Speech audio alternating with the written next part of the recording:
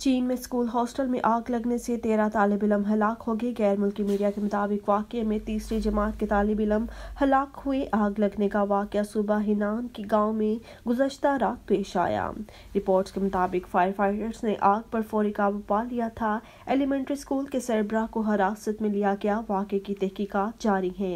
एक बार फिर आपको बताते चले कि चीन में स्कूल हॉस्टल में आग लगने से तेरह तालब इलम हलाक हो गए। गैर मुल्की मीडिया के मुताबिक वाक़े में तीसरी जमात के तालब इलम हलाक हुए। आग लगने का वाक़ सुबह हिनान के गाँव में गुजशत रात पेश आया।